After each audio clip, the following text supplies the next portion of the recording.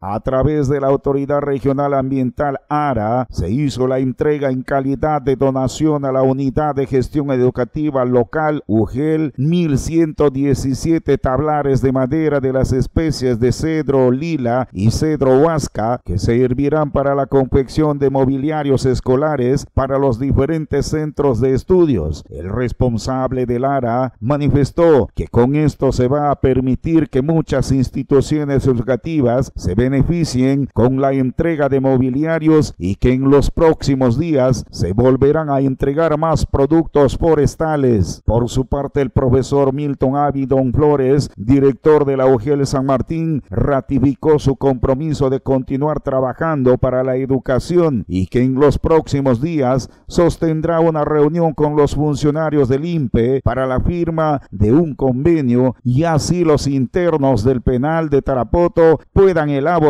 las carpetas.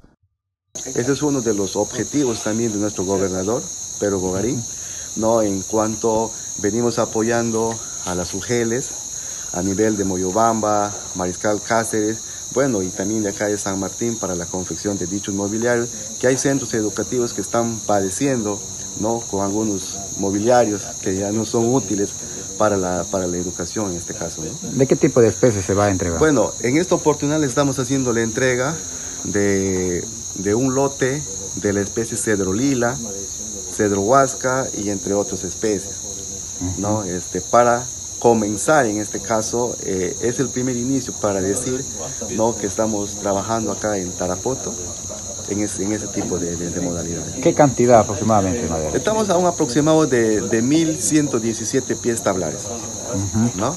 Y con la, con la este, futura entrega también, más adelante, de otro lote más de, de, de, de producto forestal maderable que ya se está viendo ya los, los trámites respectivos para la respectiva donación. Eh, una importante donación que nos está haciendo el ARA a la Unidad de Gestión de Local, en este caso San Martín, para poder eh, tener y cubrir la necesidad de mobiliario escolar que tenemos en la provincia. ¿no?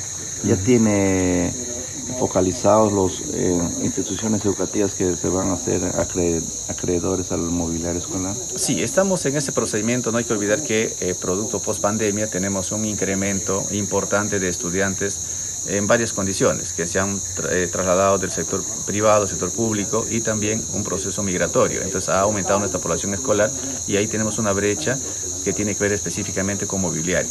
Entonces ya tenemos identificadas las instituciones que han hecho requerimiento durante estos meses y a partir de ahí lo vamos en los próximos semanas que empecemos a trabajar este asunto de transformación de esta madera para poder cubrir justamente esa brecha que tenemos ahora. ¿Y en qué parte le transforman la madera para que se haga mobiliario escolar? Sí, estamos también en un asunto muy importante, estamos coordinando con el INPE, ellos tienen toda una infraestructura con respecto a equipamiento de carpintería, entonces estamos trabajando en esa alianza también importante para que a partir de ahí, a un costo cero, nos puedan transformar esta madera y pronto estamos con el mobiliario escolar que nuestras escuelas eh, necesitan.